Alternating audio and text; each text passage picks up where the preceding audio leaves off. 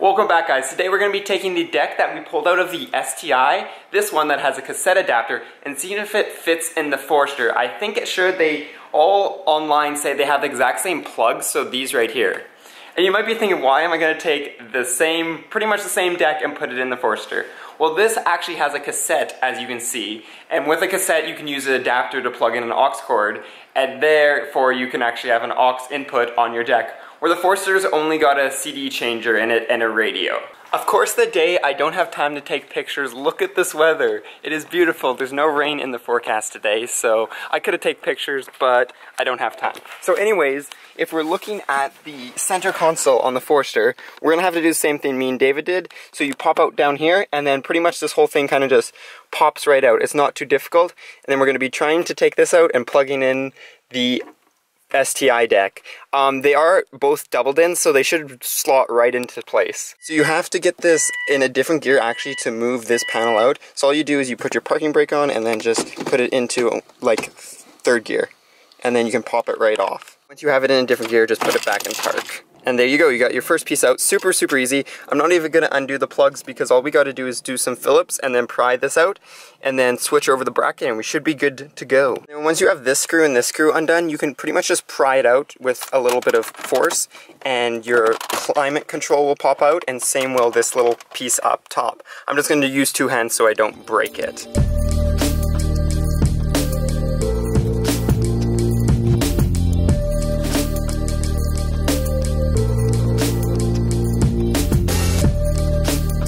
Once that is removed, you can now just take these four bolts off and you're actually ready to remove the whole deck itself.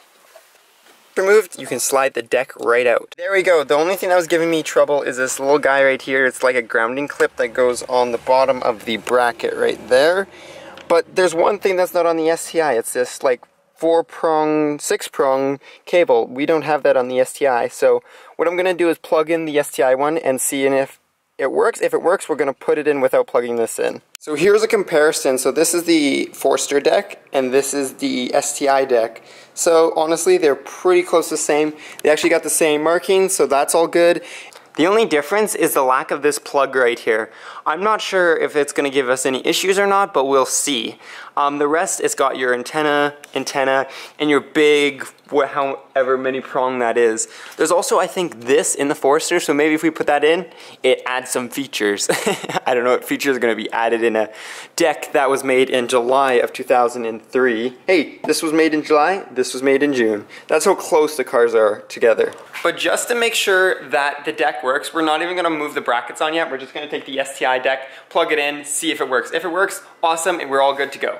The one cable that is plugged in, that needs to be plugged in, is plugged in, so we should be good to go. Put in the key. So let's see, power on. Okay, it has power. Let's go to tape play. Okay, the tape is in. Oh, I didn't like that.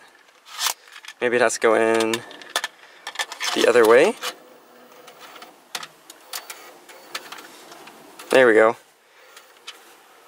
Okay, so tape is technically playing, so let's plug in some music and see if it works.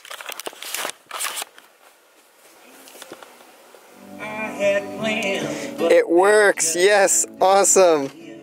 Just like that, we have an aux for the Forester until I get the new deck but that was relatively easy. So what I'm gonna do is I'm gonna pull this out again, put on the brackets, give it a little clean, clean up in there, and then mount it back in. And that would probably be only an hour and a half to get that all ready to go, which is pretty good, especially when it was 100% for free, and I just had to use some old parts. That's why I never throw out um, Subaru parts, because they're pretty much like Lego. You can put different Subaru parts in different Subarus.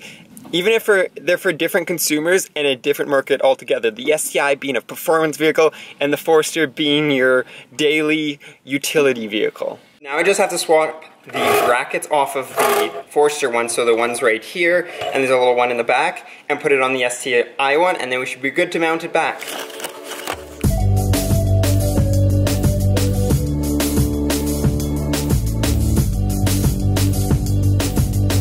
Reinforces the Subarus or Lego part. Again, look at this is the bracket off the Forester on the STI deck. Literally exact same holes, and I actually use the exact same bolts. It's literally the same thing. And there we go, the Forester deck, the STI deck. I'm just going to do a quick wipe around on all of it, and then we're ready to put it in. So, as you can tell, pretty much the same thing, and all the brackets fit up perfectly. So it's pretty much the exact same thing. This just has a cassette. Also, I noticed the STI deck actually has a Subaru badge on it where this one does not. I'm probably losing this weather band receiver, whatever that is.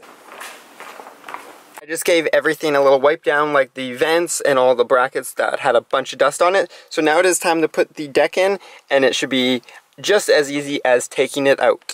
And there we go, the deck is in. Now just the time to screw it back in, and we're actually all done. Now that we have the one, two, three, and four bolts in, now we just gotta put in the faceplate and we're all done. And just like that, we have the new deck. Then we can put our cassette adapter in, and we now have an aux cord, which is exactly what I wanted. So there we go, we took the deck out of the 04 STI that I had laying around and implanted it in the 04 Forester, which I guess makes sense um, because Subarus are built just like Legos. Anyways, I did that because I wanted an aux cord and the deck that came with the Forester only had a CD changer and FM radio.